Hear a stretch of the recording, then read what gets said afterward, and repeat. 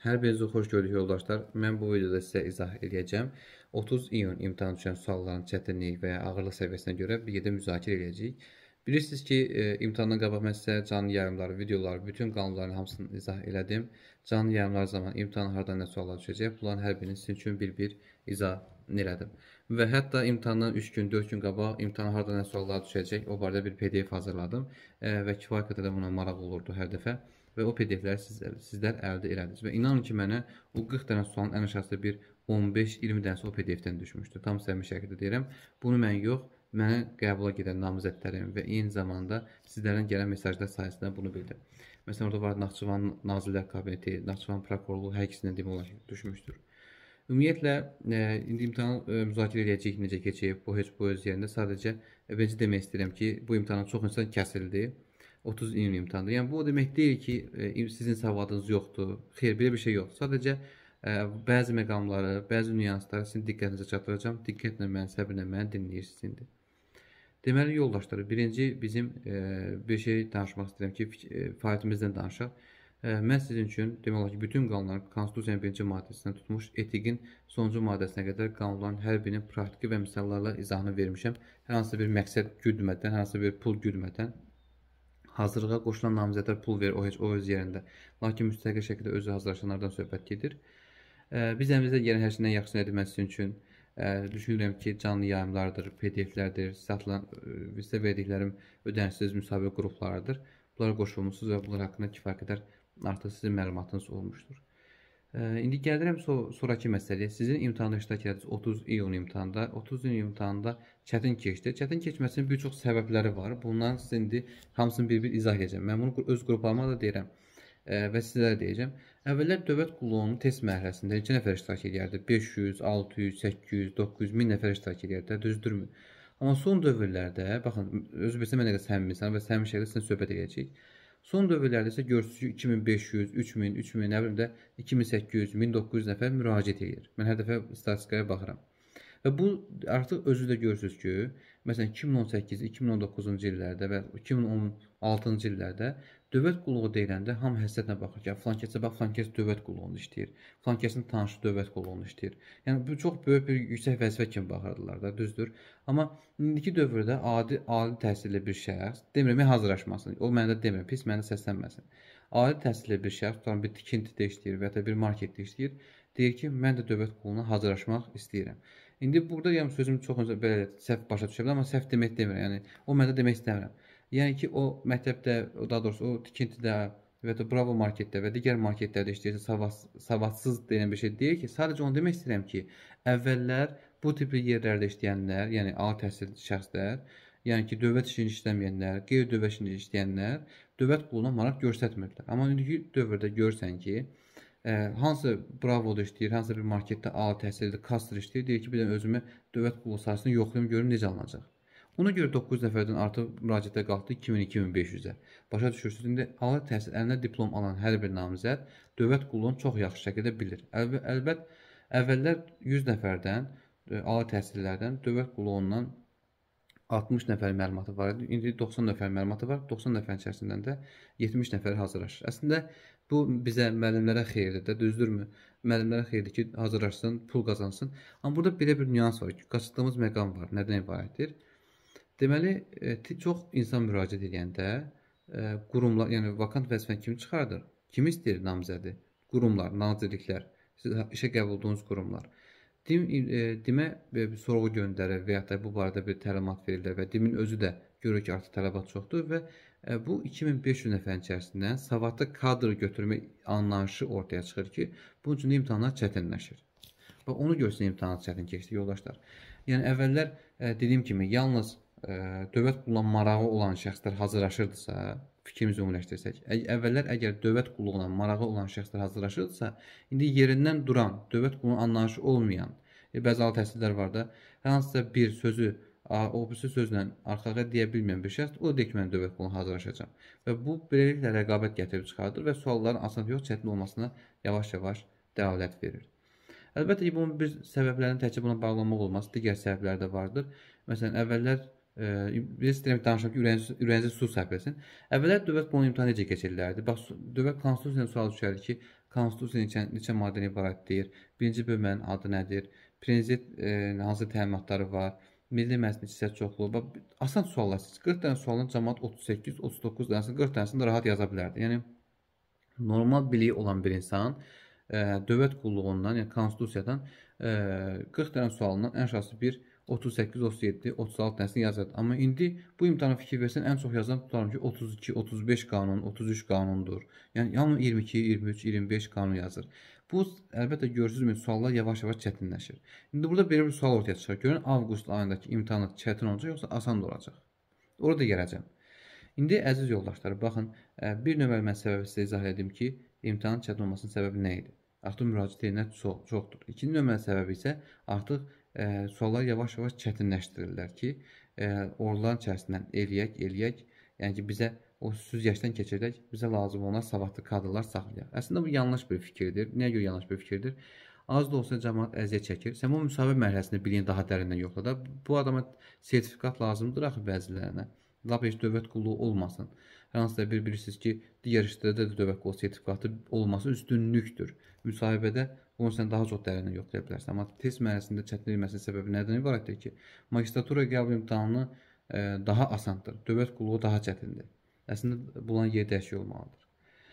Baxın, ə, vəziyyət bundan ibarətdir. Ə, imtahandan keçən 2500 nəfər var, səhv etmirəmsə 400 nəfər keçir. Yəni çox böyük ə, statistika deyil, yəni çox aşağıdır. 2500 nəfər müraciət edir və ondan 400-450 nəfər keçməsi çox aşağı bir nəticədir həqiqətən də. Və burada təsəvvür edirsiniz 2100 nəfərin test mərhələsinin kəsilməsi bu sensasiya bir rəqəmə gətirib çıxardır. Və əlbəttə bunların ödədiyi ödənişlər geri qaytarılır. Geri qaytarma söhbəti var. Bu ödədiyi ödənişlər var. Onlar heyfslənirlər. İstər BA, istərsə BB-də. Cəmi cümlətanı bu 2500 nəfərin içərisindən BB-yə müraciət edənlərdən 20 min, 25 min nəfərimi BB1 sertifikat alıb. E, imtahanı bax bu şəkildə keçirilir. İndi biz deyə bilmərik ki, avqust imtahanı bundan daha rahat keçəcək. O söz deyə bilmərik. Ümumiyyətlə, əgər e, siz bu yoldasınızsa, dövlət qulluğuna hazırlaşırsınızsa, yəni bu imtahana kəsildim, e, gedim e, evdə hazırlaşam və ya da ki, bu, bu imtahana kəsildim, gedim başqa imtahana hazırlaşam. Yəni dövlət qulluğuna vaziyətin söhbəti yoxdur. Əgər qarşınıza məqsəd qoymusunuzsa, bunu eləyə bilərsiniz. Sadəcə imtahanı çətinləşdirirlər. Məsələn, məntiq əvvəldə çox rahat idi, indi məntiqi eləyiblər, tamamilə məntiq məntiqlikdən çıxıb. İnformatikada dəyişib. Azərbaycan dilində yenə asan dilini indi yavaş-yavaş çətinləşdiriblər. Qanunverici 40 dənə sual idi. Cəmaət əvvəl 38, 39, 40, nə qədər 40 yazan insan var idi? 40-da 40 nə qədər insan yazan var idi? Amma bugünkü gün artıq ən yüksək yazan dedim ki 32, 33-dür. Yəni ən yüksək yazanı təsəvvür edirsiniz. Studiyası tipli suallar bir dənə düşərdi, iki dənə düşərdi. İndi 4 dənə, 5 dənə studiyası tipli suallar salırlar. Bunun bir nömrəli səbəbi kəsmək demək deyil. Bunun bir nömrəli səbəb qarşı şəxs olan biliyini, savadını tapıb onu ortaya çıxartmaq deməkdir. Başa düşürsüz? Burada başqa məqsəd güdmədən bunu edirlər. İndi e, bizim e, dediyimiz məlumatlara görə, mənim əldə etdiyim məlumatlara görə və öz şəxsi düşüncəmə görə bilirsiniz ki, məsələn, imtahandan qabaq sizə PDF-lər təqdim edirəm də, bu düşəcək, bu düşməyəcək, düzdürmü? E, bu e, PDF-lərdə məsələn bir çox insanlar mənə deyir ki, müəllim bu söz bunu hardan bilirsən ki, bu düşəcək, bu düşməyəcək? Belə bir məqam var ki, onun əvvəlki imtahanlara baxıram, sonra görürəm ki, hansı formada harda nə suallar verəcək və bu da 40 dənə sualın 20 dənəsi o PDF-də var idi. Bu heç. İndi sual budur ki, avqust imtahanı rahat düşəcəkmi, çətin düşəcəkmi? Avqust imtahanı hazırlaşaqmı, hazırlaşmayaqmı?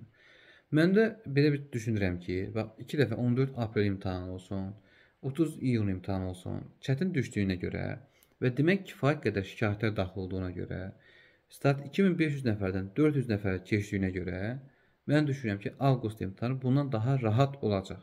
Və e, mən əvvəl sual düşür, 5 dənə test tipi sual düşürsə, artıq 2 dənəsi düşəcək. Mən mən e, həmişə fikirlərimdə doğru çıxır. E, düşünürəm ki, əgər siz bu videoya baxırsınızsa, avqust imtahanı hazırlaşım, hazırlaşmayım qərar verə bilmirsinizsə, sizə məsləhət görürəm ki, son olaraq, bax, son dəfə dövlət qulunun əlinizi üzmədən deyirsiniz ki, mənlik deyil e, və ya da çətin imiş, ay, həvəsdən düşdüm. O sözü demədən bir dənə səbirli olun. Avqust imtahanında girin. Nəticənizdən asılı olaraq ondan sonra deyin ki, hə, vəziyyət nə qədərdir. Və mən sizə deyirəm ki, avqust imtahanı bu imtahandan qat-qat asan olacaq. Bu sözü mən deyirəm sizə. Mənə yanında gələn hazırlaşma məhsulunu demirəm. Yox, özünüz də müstəqil şəkildə hazırlaşın. Burada nəsə pis səslənməsin. Sadəcə demək istəyirəm ki, mən orta statistikanı bir müəyyənləşdirirəm, çıxardıram, şikayətlərə baxıram və görürəm ki, həqiqətən də avqust imtahanı daha rahat olacaq. Və mən sözümə inanın, Dövlət qulluğunun əlinizi üzməyin Son olaraq, yəni demirsiniz ki, belə deyək də, hə ta sağ ol dövlət qulu, mən gedirəm falan yerdə işləməyə. O qədər insan var da, indi gəl düz danışaq. Gəl mən bir dənə bəxtim istəyirəm görüm necə olacaq. Bunu etməzdən əvvəl, bu yoldan çəkilməzdən əvvəl bir dənə özünüzü avqust imtahanında sınayın.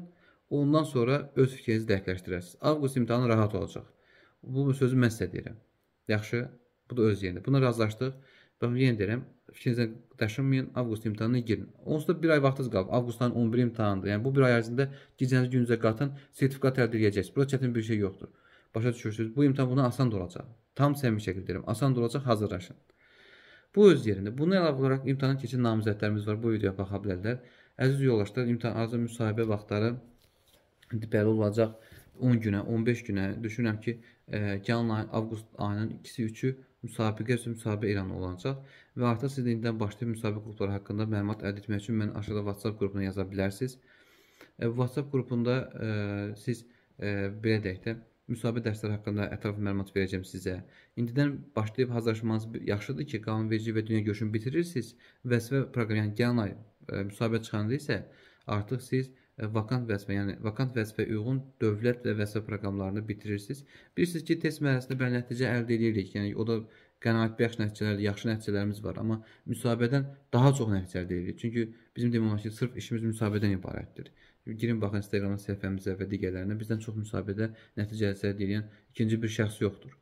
Bu da öz yerində. Gələn ay müsahibəsi çıxacaq gözlənilir. İndidən hazırlığa qoş qoşulun ki, əziz sertifikat əldə edən namizədlər. Gələn aya qədər qanunverici və dünya görüşünü bitirin ki, e, müsahibə çıxanda daha yaxşı şəkildə hazırlaşa biləsiniz. E, deyəcəksiniz ki, test məhzində qanunları bilirəm. Təzədən hazırlaşma ehtiyac varmı? Əlbəttə ki, e, testlə testdə keçən qanunla müsabiqə keçən qanunun fərqi var. Əgər siz testdə son zərf nəzəri müdafiə fərqin e, ehtiyac yox idi, amma müsabiqədə ehtiyac var, soruşurlar.